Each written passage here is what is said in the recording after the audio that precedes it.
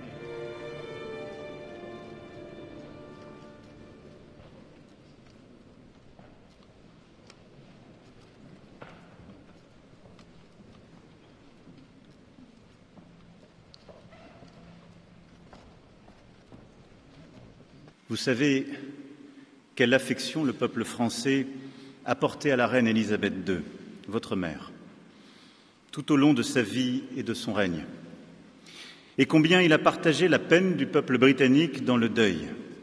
Ce soir, nous pensons profondément à elle et au prince Philippe en vous recevant avec la reine. En 1970, vous représentiez Sa Majesté Élisabeth II à l'enterrement de Charles de Gaulle.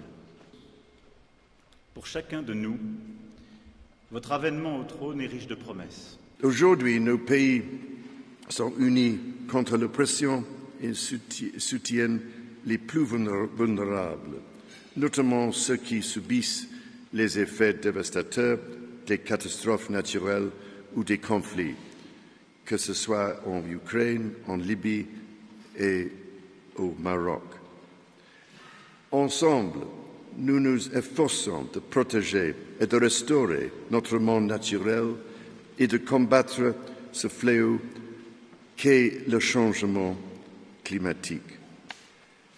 Monsieur le Président, dans tout cela, nous pouvons compter sur notre solide amitié qui se renouvelle et se redynamise à chaque nouvelle génération.